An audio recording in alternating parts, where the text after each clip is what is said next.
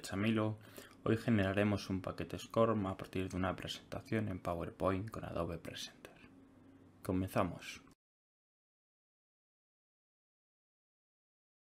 Bien, lo primero que tendremos que hacer es tener instalado Adobe Presenter. Podemos descargar una versión de prueba desde la página web oficial. Abriremos nuestra presentación en PowerPoint e iniciaremos la conversión del paquete. Lo primero que tenemos que hacer es ir a la barra de tareas, seleccionar Adobe Presenter, hacer clic en gestionar. En la pestaña de informes tenemos la opción de activar informes para esta presentación. Seleccionaremos el paquete SCORM y haremos clic en manifiesto.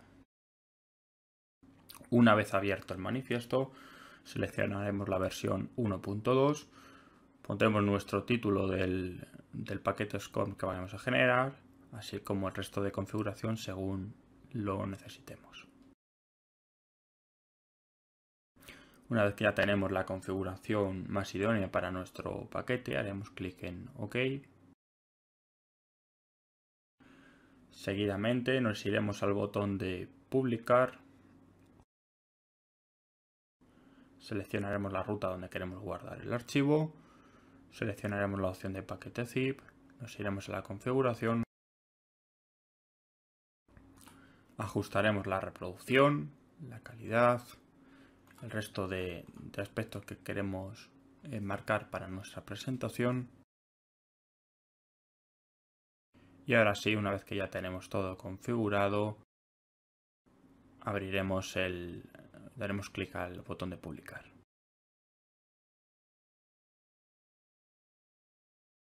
Bien, una vez publicado el paquete SCORM, cogeremos nuestro archivo en zip y lo importaremos directamente en las lecciones de Chamilo.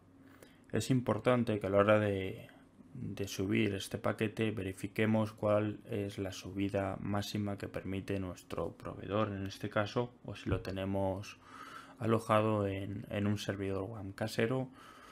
Eh, igualmente tendríamos que comprobar que el fichero de subida tenga un espacio superior como límite superior al que estemos subiendo. Normalmente va a estar en torno a unos 50-60 megas el paquete zip que estemos subiendo. Es importante tener en cuenta este apartado.